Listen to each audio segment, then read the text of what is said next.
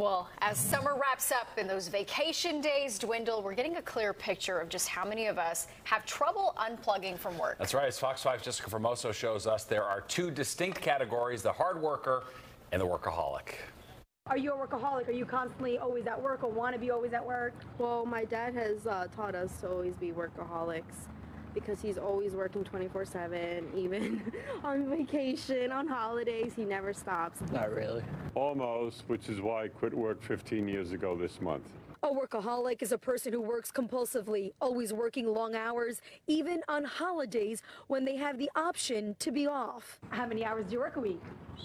Usually more than full time. I usually go from one job to the next. How many jobs do you have?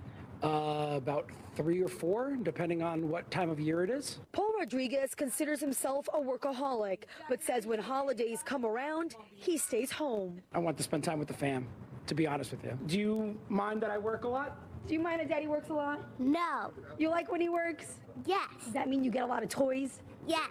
It can't be all work all the time. Being on the clock constantly can have negative effects on your health and personal life, ruining relationships. They don't have the chance to enjoy life because more than work, we have to enjoy the result of our work with our family or our friends. Good advice from Giselle. After all, it all comes down to balance.